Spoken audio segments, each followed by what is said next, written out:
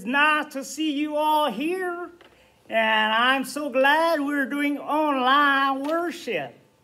I want to say welcome, and my name is Jerry, and I'm so happy to be with you. So, why don't we get started? Beautiful morning. Let's worship the Lord. Come on. Everybody stand up and let's sing this song together.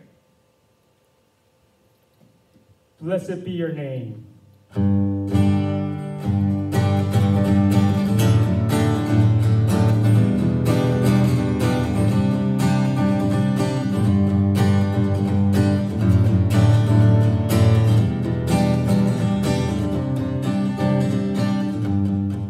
Blessed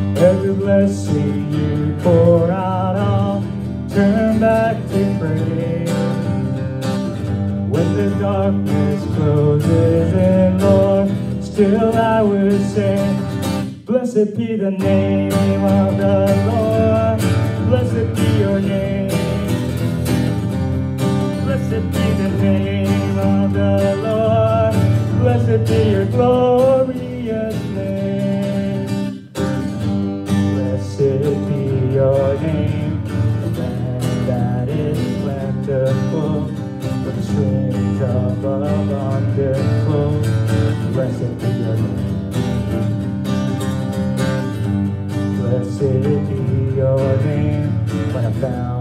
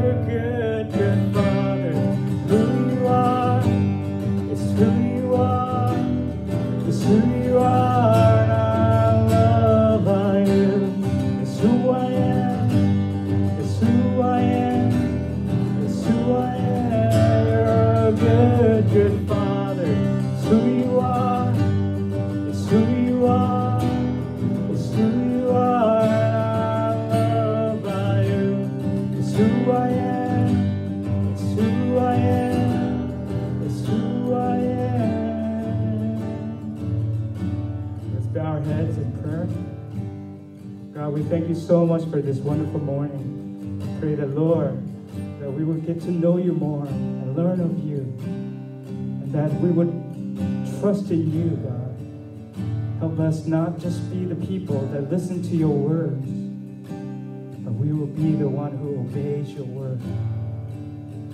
Well, bless our meeting this morning, and we praise your name. In Jesus' name we pray. Amen.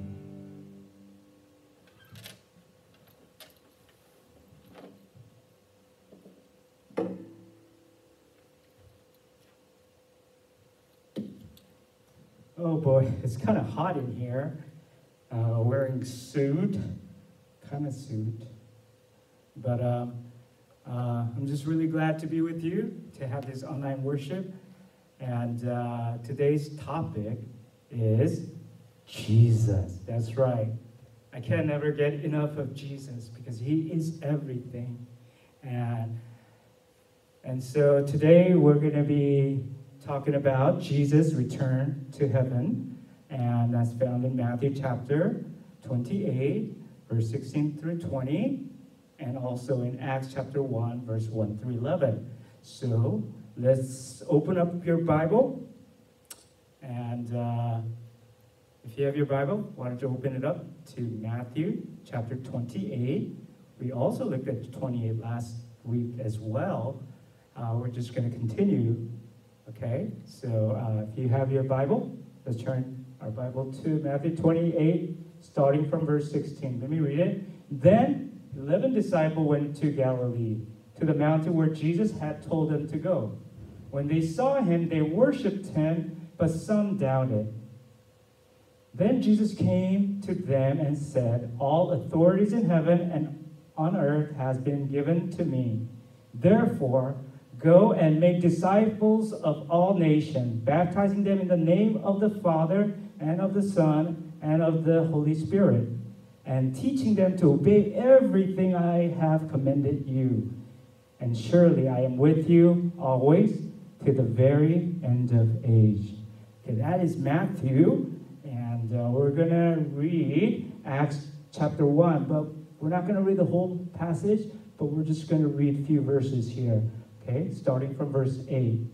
Acts chapter 1, verse 8.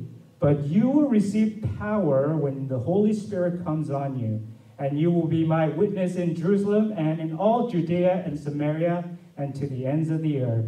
After he had said this, he was taken up before their very eyes, and a cloud hid him from their sight. They were looking intensely up in the sky as he was going when suddenly two men dressed in white stood beside them. Men of Galilee, they said, why do you stand here looking into the sky? This same Jesus who has been taken from you into heaven will come back in the same way you have seen him go into heaven. Amen. All right, so that is our passage for today. So uh, if you could recall, um, last week was Easter, and so, and two days before Easter was a Good Friday, and we talked about one of the most important topic, which is the death and resurrection of our Lord Jesus Christ.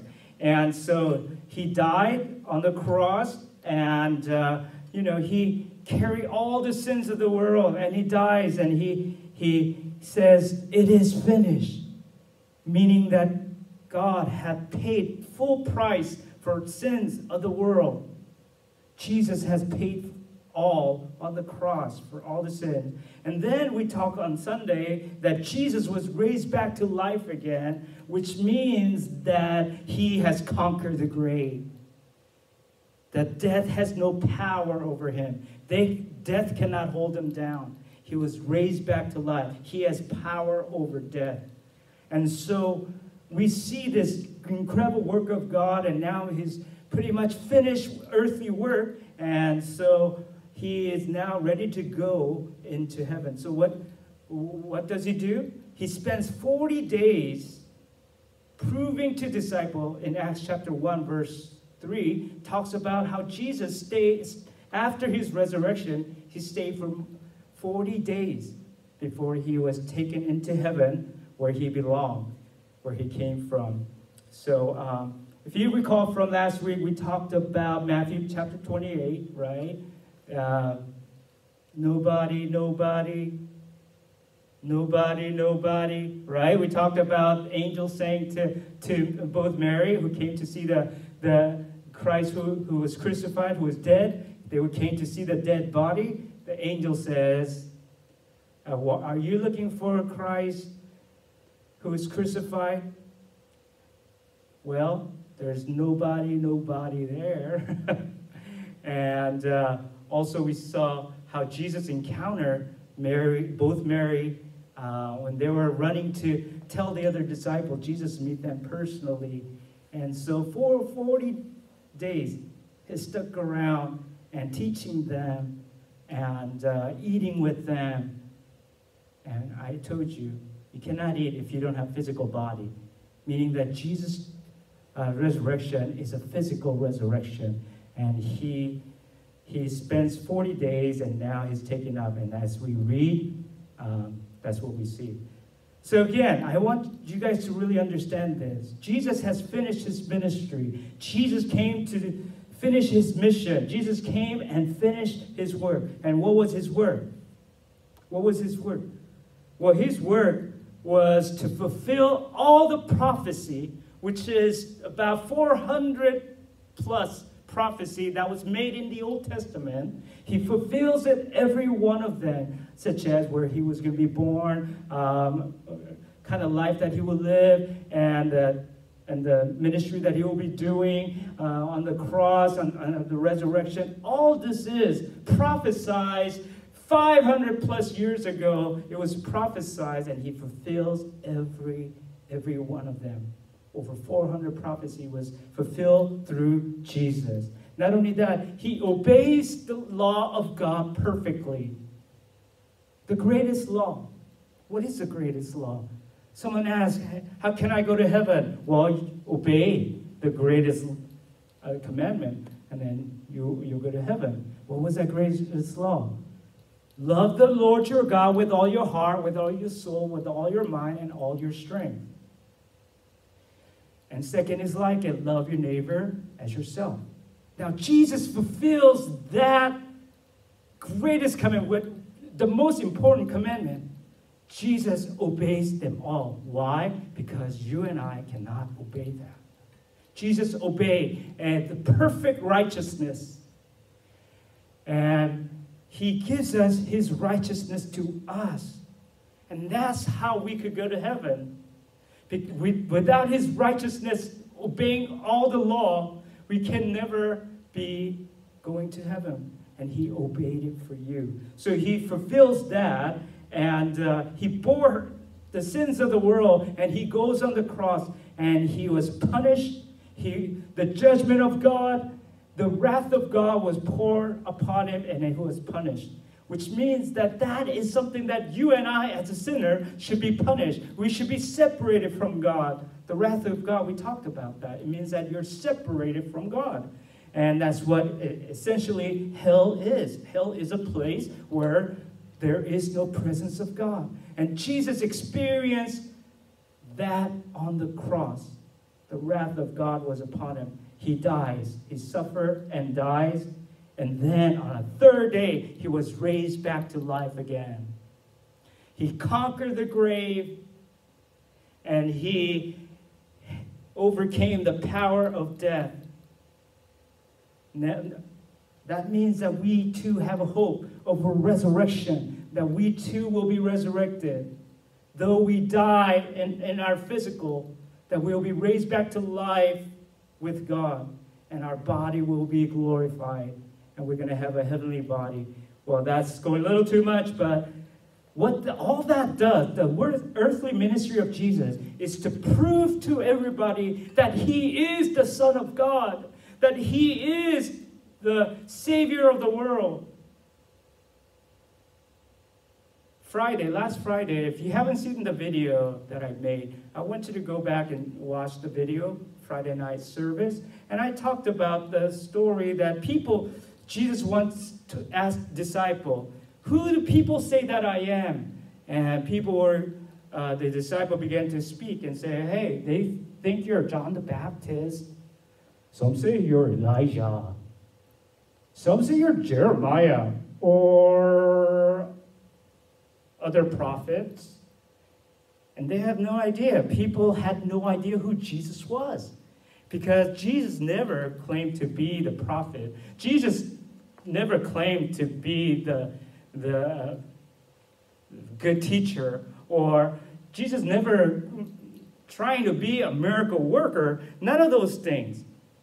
Right? And but people have different opinions about Jesus. And Jesus turned and says to his disciple, Who do you say that I am? To his disciple. And Peter stood up and said, You are the Christ, the Son of the living God. And that was the right answer.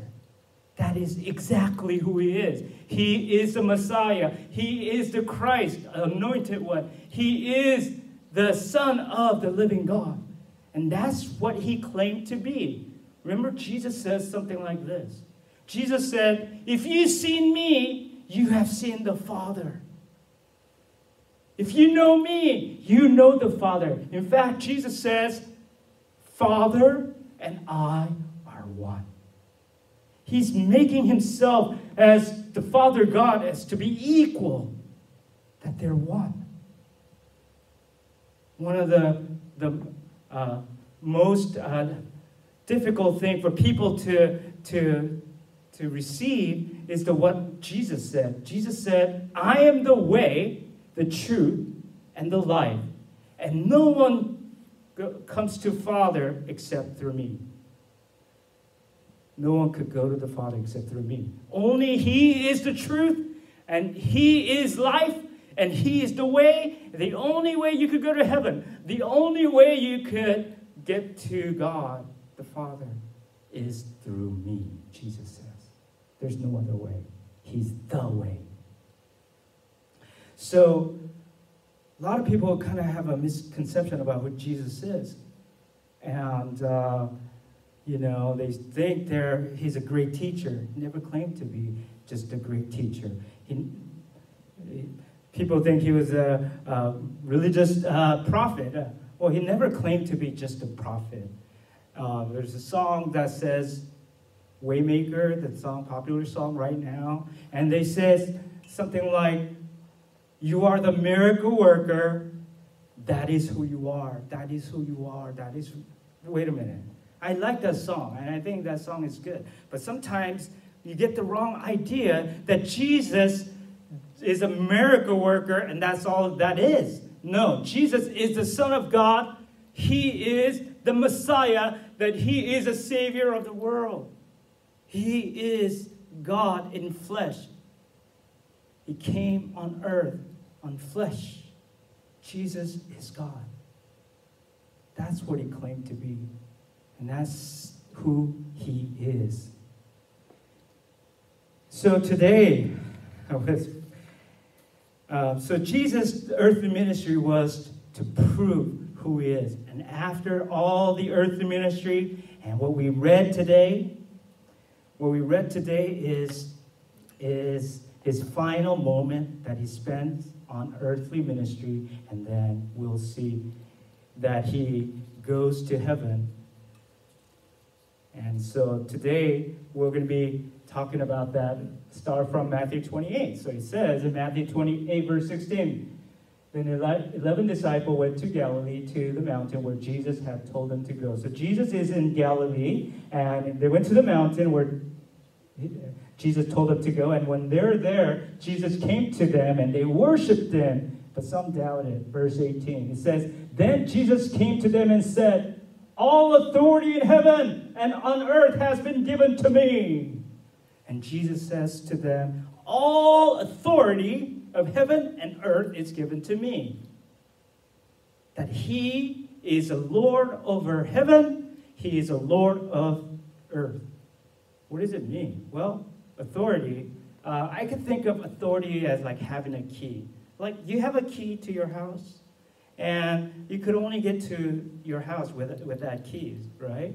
Um, so basically, uh, uh, you have a right as a person who lives in that house, you have the key, you have the authority of whoever could come in and who is not to come in. Well, if it's your friend or if it's your someone you know and that, that you, uh, your family, you let them in, right? Because you know them, right? But there are people that you would not allow them to come in the house. You have that authority because you have the key. They don't. They cannot get in, right? So what Jesus is saying is that I have the authority of heaven. I have the authority of heaven means that I have the keys to heaven and I choose who to come in and who not to come in. He controls that.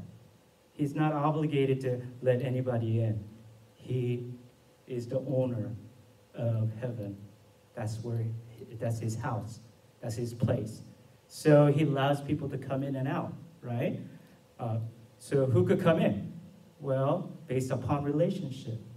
There are people who says, "Lord, Lord." Bible says, not everyone who says, "Lord, Lord, Lord," will enter in heaven. Did you know that? There are people who says, "You know, I've done this work for you. I have cast out demon in your name. I have done this. And they, they would say, Lord, Lord, let me in. And Jesus would say to them, Depart from me. I do not know you. There are people who says, Lord, Lord, but that doesn't mean anything. Just professing that Jesus is Lord, anybody could say that. Even, even demon knows that Jesus is the Lord. And that's why he hates him so much, right? And so it's not about professing it, but is he truly your Lord? Heaven, all authority in heaven is given to me. And not only that, all authority in on earth is given to him as well.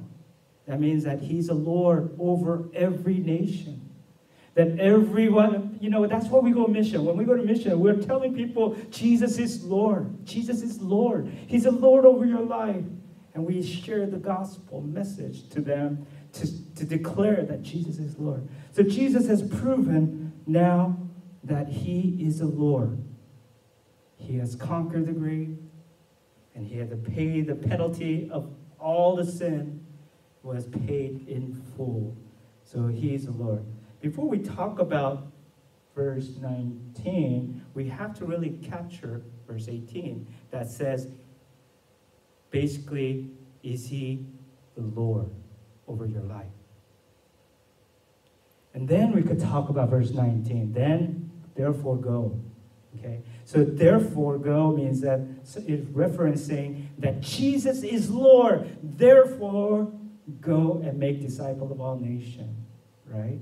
And so, first thing that we need to establish that is that Jesus is the Lord. Amen. Uh, verse 19 says, uh, Therefore go and make disciples of all nations, baptizing them in the name of the Father, of the Son, of the Holy Spirit, teaching them to obey everything I commanded you. And surely I am with you always to the very end of age. Okay, so what's going on here? Before we are do what Jesus is telling us to do, we have to really think about it. He's saying to make disciples, make disciples of all nations by going, by baptizing, and by teaching. Okay, so that is the key in this passage. The key is to make disciple of all nations. We are to, we're called, or Jesus calls his disciple to make disciples. Question What is disciple? What does it mean? What disciple means is that you are a student, that you're making Jesus as your teacher. So the question is, is that is Jesus teacher? Before we go out and make disciples, is Jesus your teacher? Are you learning from Jesus? Because that's what disciple is one who learns from Jesus. The word is mathetheus. Mathetheus in Greek means disciple, okay? And I don't know if you remember, we, uh, we had a memory verse, remember? Uh, we memorized a verse uh, of Matthew uh, chapter 11, verse 28 through 30. Maybe some of you could say it. Uh, it says something like this Come to me, all who are weary and burdened, and I will give you rest. And then he says, Take my yoke upon you and learn from me. Learn from me. That learn, the word learn there is mathetheus, means disciple. When we say we're disciple of Jesus, that means that Jesus is our teacher and I'm learning from him. Every aspect of my life, whether it's a relationship, whether it is, is my future, my career, whether it is my pocketbook, money, whatever it is. Jesus is my teacher. I am learning from him. That's what makes a disciple, one who is learning from Jesus.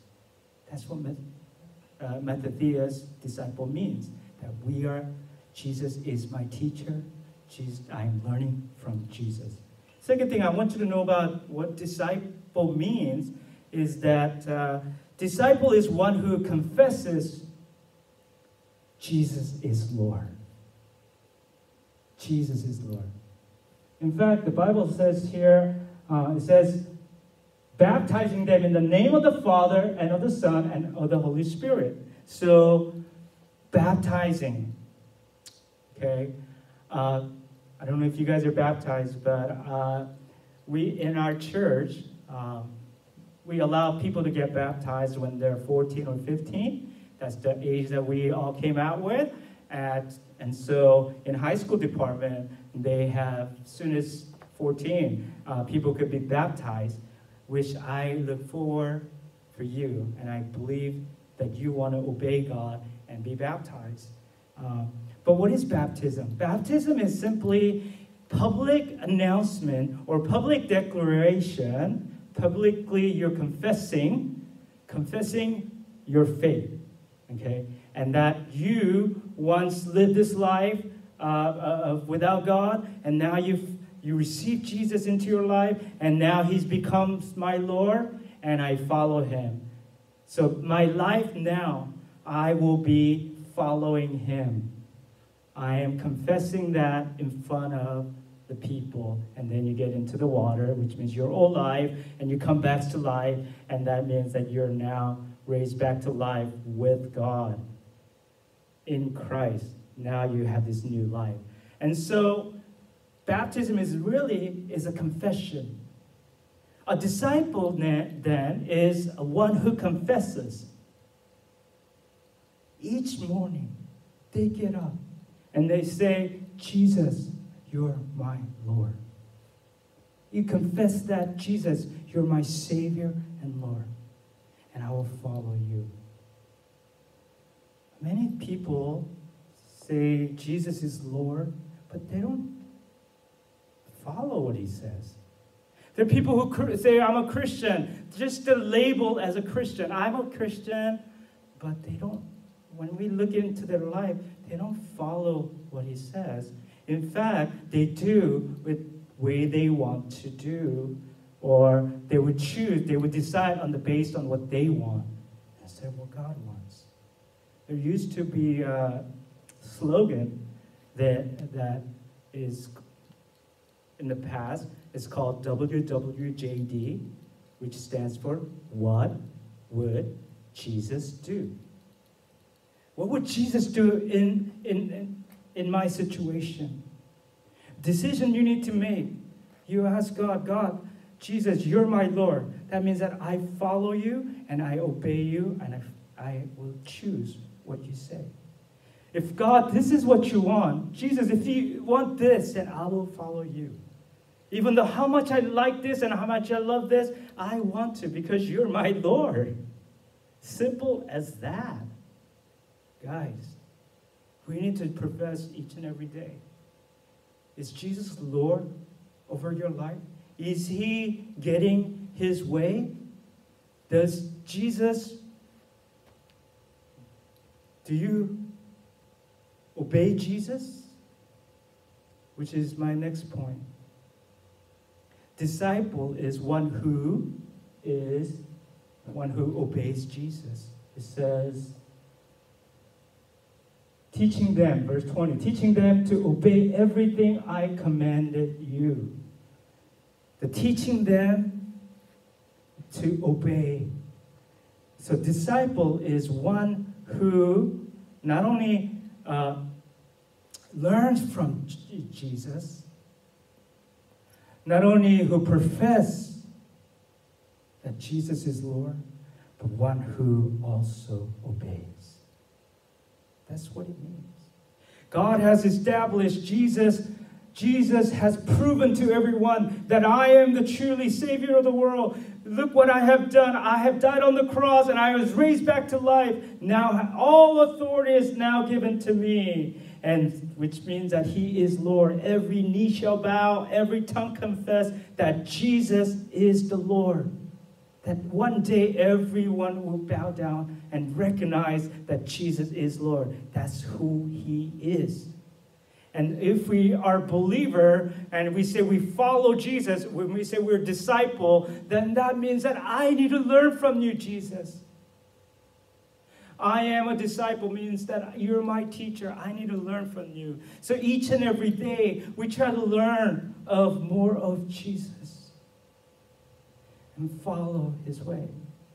Secondly, we profess. Okay? So each morning you get up and you say, Lord, is it going to be my way or your way? Lord, have it your way, Lord. Disciple is one who obeys Jesus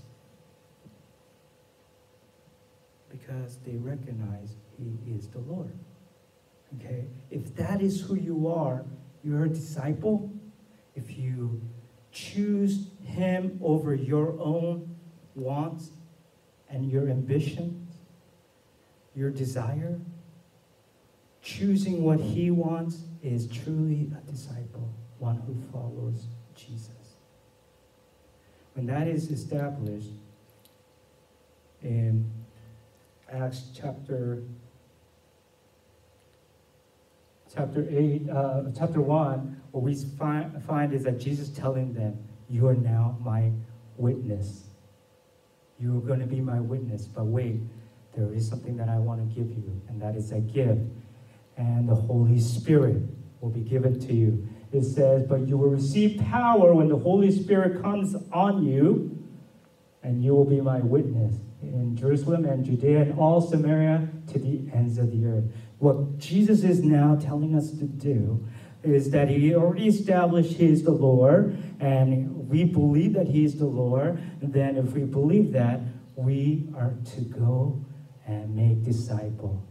Just like we follow God, we follow Jesus, we, we obey Jesus, we learn from Jesus, we allow people declare to the nation that he is the Lord and that they could also follow him.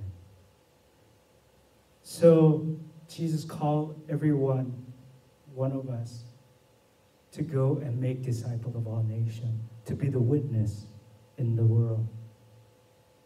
And then, and then Jesus ascended into heaven. This is the final word of Jesus speaking to you and me. This is what Jesus wants us to do, is to proclaim this good news of what Jesus has done and to follow him and to love him. But before we tell other people, we have to establish again is Jesus Lord over your life? Are you learning from Jesus each and every day? All aspects of your life? Are you learning? You have to establish that you are the one who uh, you profess or confess that Jesus is Lord. How about every morning you get up, declare, if He's truly the Lord, if you really believe that He's the Lord, you declare in the morning, say, Jesus, you're the Lord over my life, and Jesus, you're the Savior of the world. You need to declare that every morning if that is true. Again, disciple is one who learns, one who confesses, and one who obeys.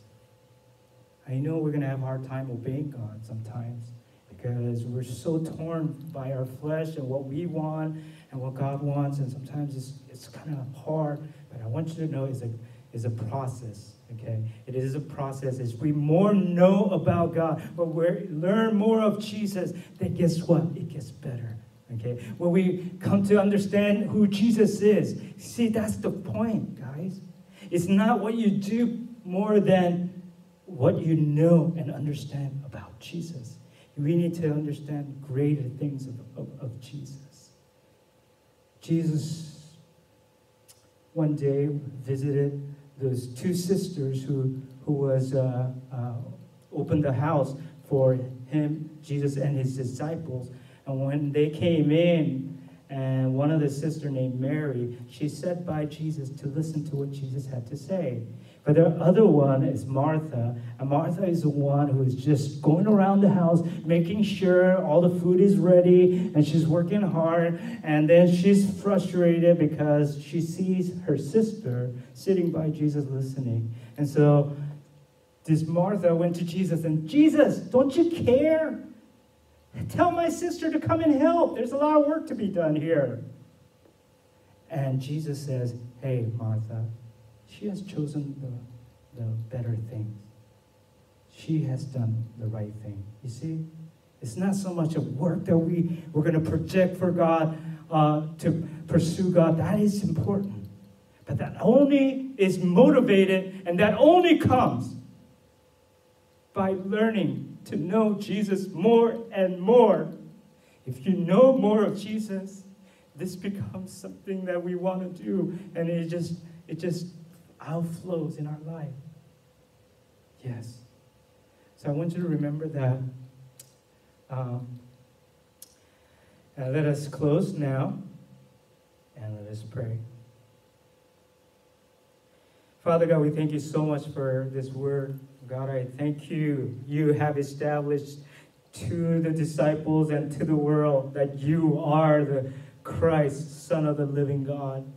You are truly the Messiah. And God, we have come to you. Sometimes, Lord, we just we're just labeled as Christians. And we do not make you a Lord over our lives. You are in our life, but Lord, you are not the Lord, and we become the Lord. And Lord, I pray that Lordship will be changed. You have established in the world that you are the Lord. Let it be established in our own life that you are the Lord. So every morning when we wake up, Lord, may we want to we want to learn more of you. Lord, every time we wake up, we, we confess that, Lord, you are the Lord over our life. Lord, every time, Lord God, in our life, in our situation, uh, we would choose your way over our own ways. We thank you, Lord, in Jesus' name. Amen. Well, God bless you all for this online worship that we're doing. But remember, every time you wake up, pray and say, Lord, you are the Lord over my life. Every moment you you wake up, um, learn help me to know more and more of you. Those are the prayers you need to pray each and every day, and that I would obey you. Um, online giving is not done in our department, but uh, make sure you give offering to your parents that they could deliver to the church. And also, we have Zoom meeting going on. We had uh, 94 people joined us last week, and we had a wonderful time of Zoom meeting, and we're doing that this week. So tomorrow, uh, today, um, just log in and, uh, and we'll have a wonderful time together. God bless you, and I love you. Bye bye.